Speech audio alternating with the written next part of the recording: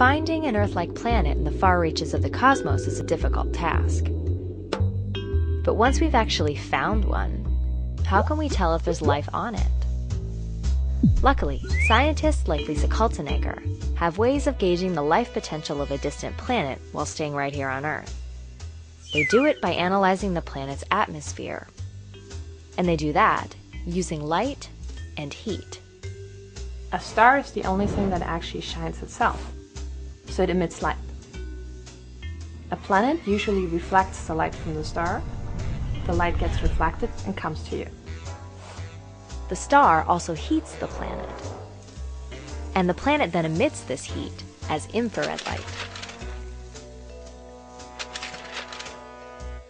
Scientists capture this infrared and visible light from the spectrum, split it into separate wavelengths, and chart it on a graph like this one, called a spectrum.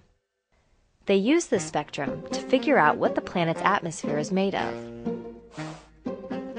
If there are chemicals in the atmosphere of the planet, they absorb part of that light. So if we look at light from the planet, and at a certain point there's something missing, there's an absorption feature, this is how you know what's in the atmosphere of that planet. We know that particular chemicals absorb certain wavelengths of light.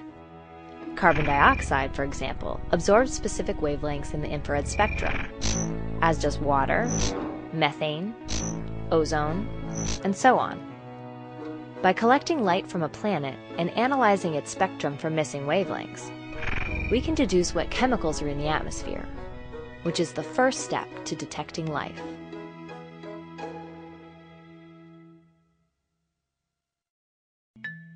Detecting the types of chemicals in the atmosphere is the first step to finding life.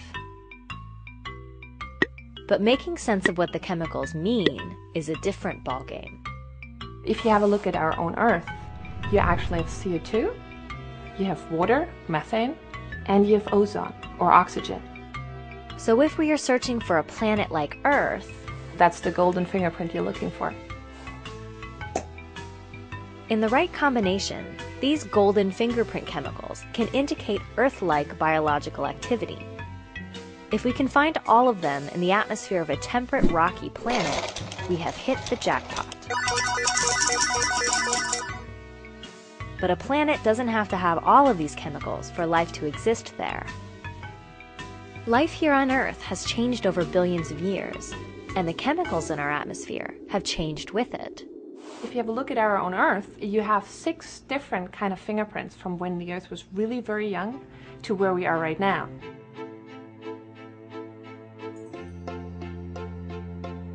The different chemical fingerprints the Earth has had over time, as life has evolved and changed, can guide us in our search for life on other planets.